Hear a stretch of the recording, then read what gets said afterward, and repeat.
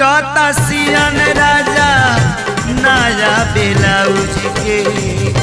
कहिया ले ताल ठोकबा हमारा पखौज के।